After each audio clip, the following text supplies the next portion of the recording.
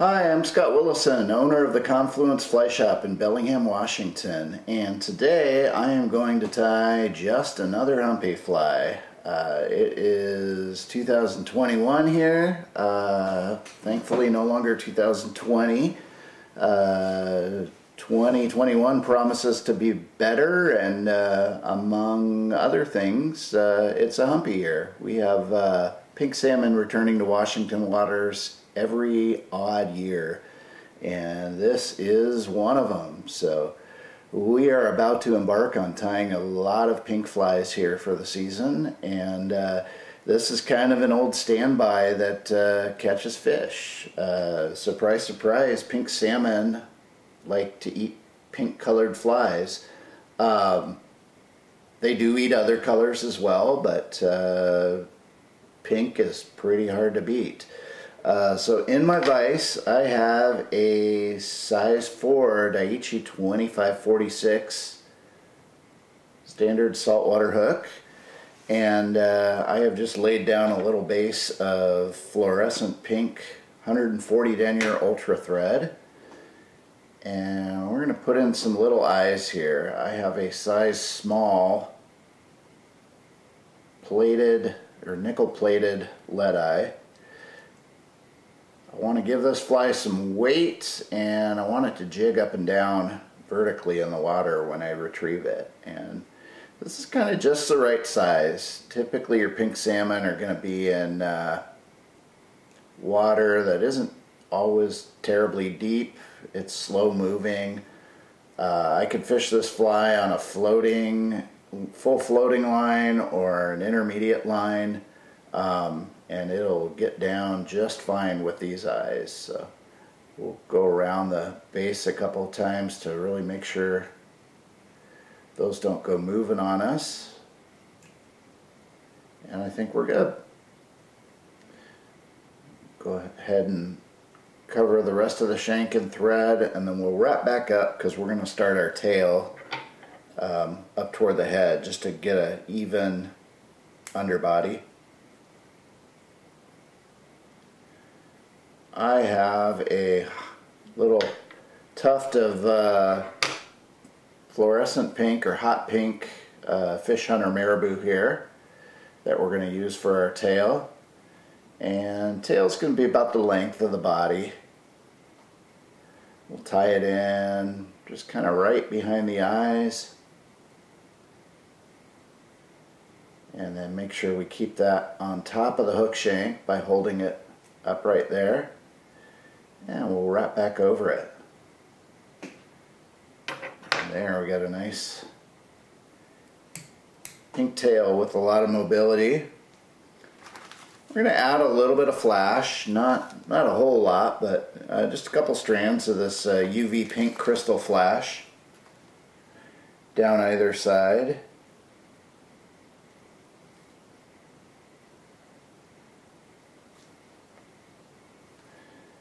I think we'll we'll live uh, we'll live dangerously here and go with three strands. Um, so I've cut three longish strands here. Um, I'm going to tie half of them in on the near side of the hook. And then I will come under with the other half and we'll do the far side of the hook. These are going to be down each side of the marabou and I'm going to trim those kind of unevenly a little bit longer than the marabou. Now our body is going to be another one of my favorites. This is a, a fluorescent UV uh, fuchsia polar chenille. It's good stuff. The, the hot pink works really well also. I do find that uh, depending on the river, depending on the fish, uh, some shades of pink work better at times than others. So it's worth tying this one up in a few different hues. Um, sometimes pink and white too. You can do the body with uh, UV uh, pearl polar chenille and get yourself a little bit of contrast. At some point or another, they, they all work pretty well. So again, just like the marabou, I, I tied that in kind of partway up the shank there just to help give myself an even underbody. And we'll go ahead and just wind this on forward till we're just behind the eyes.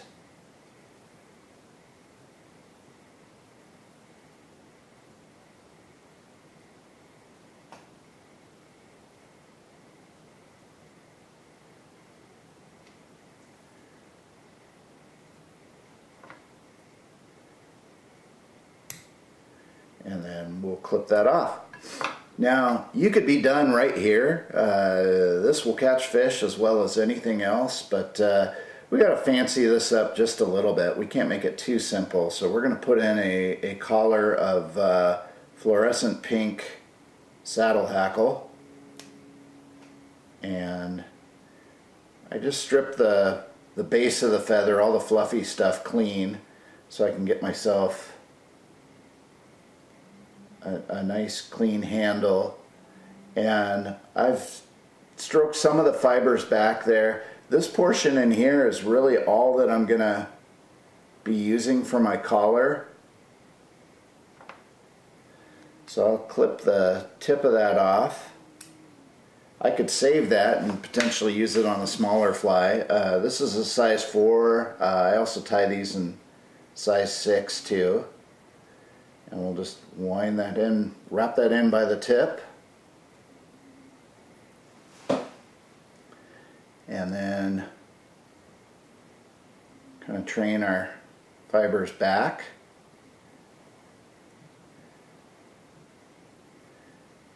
And then we'll do a nice little collar here. Easy peasy. You don't have to get too super fancy with your pink flies. This will catch fish as well as anything.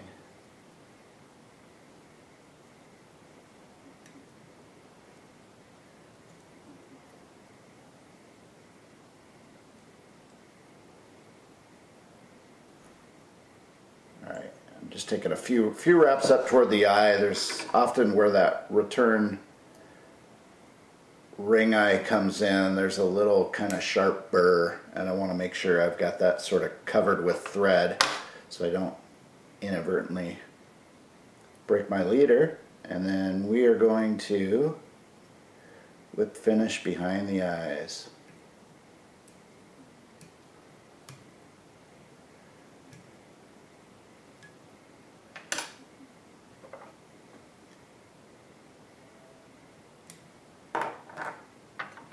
And we're done.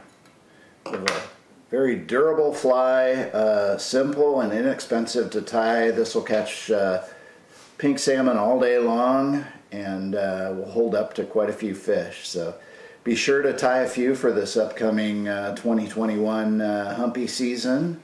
And uh, you can find the materials for this and many other flies at the Confluence Fly Shop in Bellingham, Washington. Thanks for watching, and please be sure to like and subscribe to our YouTube channel. We'll see you on the water.